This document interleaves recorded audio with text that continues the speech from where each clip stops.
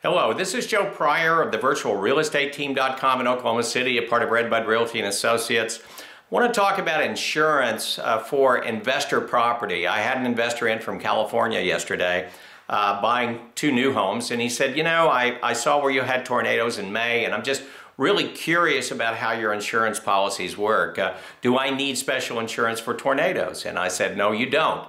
In Oklahoma, that is certainly one of our natural disasters. It's not a normal occurrence, by the way, in the Oklahoma City area. Um, we did have an unusual uh, two tornadoes, large ones in May, but it is not something that, you know, oh my gosh, does it happen every year? But the insurance policy does cover all sorts of loss, so not at any extra cost. So tornadoes, fire, uh, theft, whatever it might be in terms of destruction, uh, your home is covered.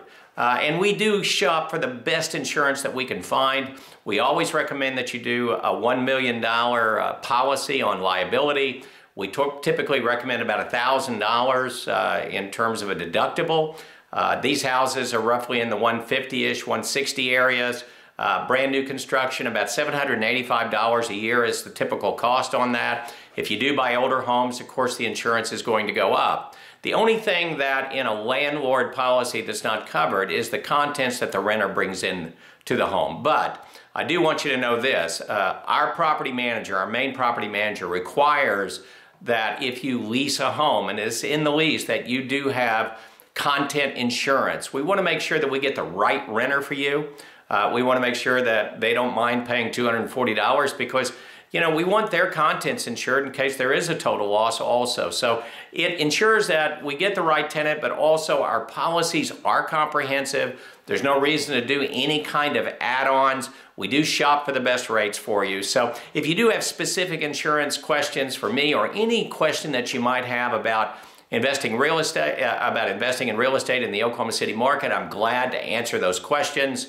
Uh, you can contact me at joe at joepryor.com. Give me your contact information. Uh, I'll be glad to get together with you, arrange a time to talk.